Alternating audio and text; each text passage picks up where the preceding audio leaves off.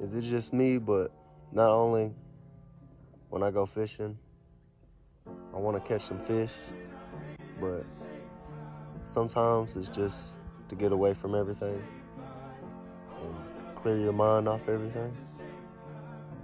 You agree with me, go sub to my channel.